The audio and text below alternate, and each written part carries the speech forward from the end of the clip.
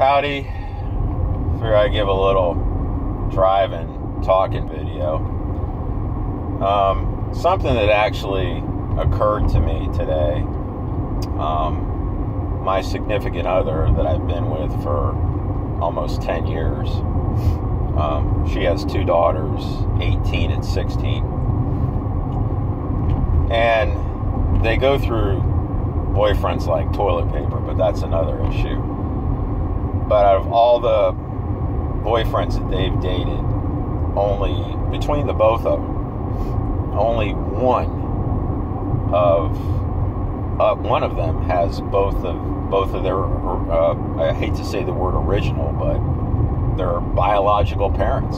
All the rest of them are either broke. You know, the parents are, uh, you know, broke up or stepdads and everything else, and kind of puts perspective as to kind of what kind of society we're living in now.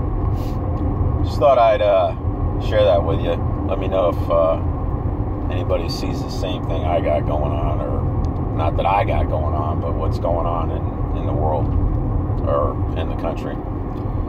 Peace out.